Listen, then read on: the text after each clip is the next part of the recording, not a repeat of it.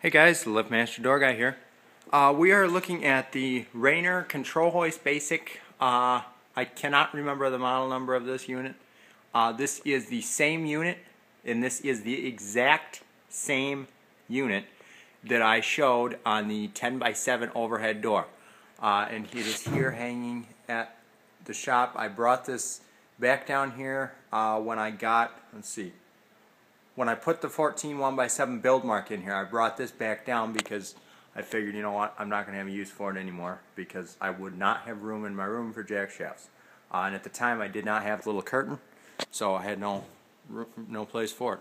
Uh, this here is, I'm not sure what this is, 8 by 8 by 8 might be a 9 by 8 I guess it's not 8 foot high. 8 by 7 9 by 7 Yeah, this is only a 7 foot door, I can touch the top of it. So, only 7 foot door, 9 by 7 8 by 7 Really small door, but it's got the high lift on it. And uh, so, of course, you really can't use a drawbar opener. And with this demo curtain we've got hanging here, there's really absolutely no way to do that. So we'll go ahead and we'll run this today. Open, close, stop button. Here we go.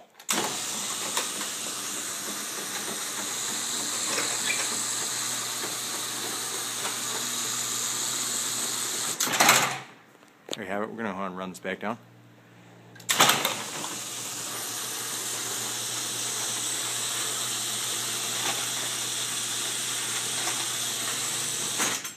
There we are.